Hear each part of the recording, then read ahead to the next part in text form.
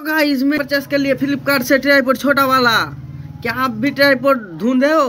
और बजट बहुत कम है आपका तो हमारे साथ कॉल करिएगा। ये मात्र डेढ़ सौ रुपया में मेरे को पड़ा है। और इसमें ऐसा करके चिपकना भी है।